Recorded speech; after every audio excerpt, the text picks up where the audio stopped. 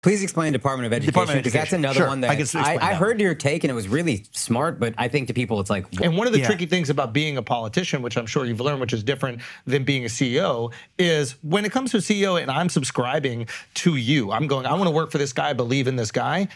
Trust that you know what we're going to do, and maybe I'll go, hey, I think this is a good way to do it, and then I could influence your opinion. And one of the beauties of this Iowa caucus process, I, I did more events than all the other candidates combined. Yeah. Which is, I realized actually through the process what this was actually about. If this, if this process of like Iowa going first through this caucus system is about something, it's actually about instilling humility into the candidates. Yeah. That's really what it's about. Great. Is you otherwise forget who the boss is. Yeah. What are you going to do?